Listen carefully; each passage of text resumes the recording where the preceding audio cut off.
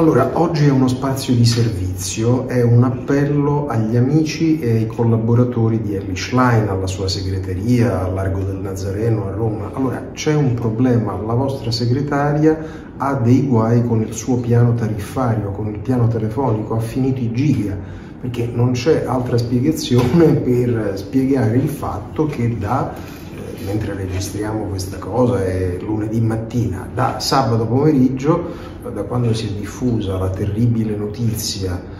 dello stupro di gruppo da parte di sette mostri egiziani ai danni di una ragazzina di 13 anni, da sabato la Schlein non ha twittato, non ha parlato, non ha telefonato. Io naturalmente mi auguro che da qui a quando molti di voi vedranno questo filmato le cose siano cambiate, poi io sarò ben lieto di, come dire, eh, tornare qui a dire brava Ellie, ma ti pare normale che dopo mesi di campagne contro il patriarcato, per i diritti, a difesa del corpo delle donne, poi c'è lo stupro di una ragazza così giovane, peraltro con modalità bestiali, sette belve che assaltano lei, il suo fidanzatino, lui viene immobilizzato eh, da cinque, eh, due violentano lei, cioè una cosa francamente atroce e questi non riescono a dire una parola a sinistra e quando la dicono, è il caso di alcuni collettivi femministi, la dicono sbagliata, parlando di xenofobia, strumentalizzazione.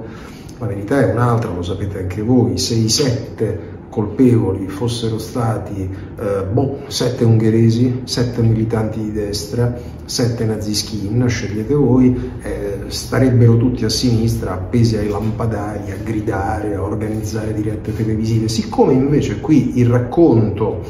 eh, non è funzionale alla, diciamo così, alla, alla narrazione buonista che a loro è cara, e allora è meglio attenuare tutto. E invece la verità è che noi dobbiamo affrontare tre guai rimossi per troppo tempo.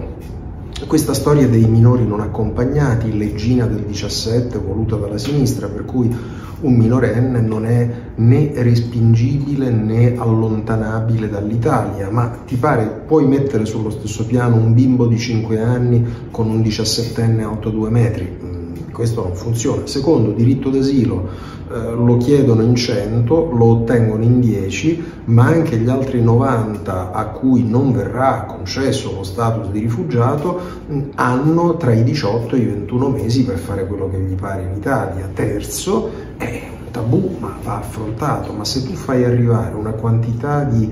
maschi, di maschi giovani, di maschi provenienti purtroppo da paesi e culture dove la donna è considerata un oggetto,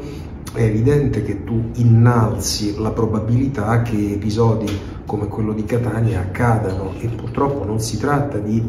disgrazie, ma di una probabilità assai elevata dal numero di persone di quel tipo che ci stiamo portando in casa. Dimmi la tua se vuoi nei commenti.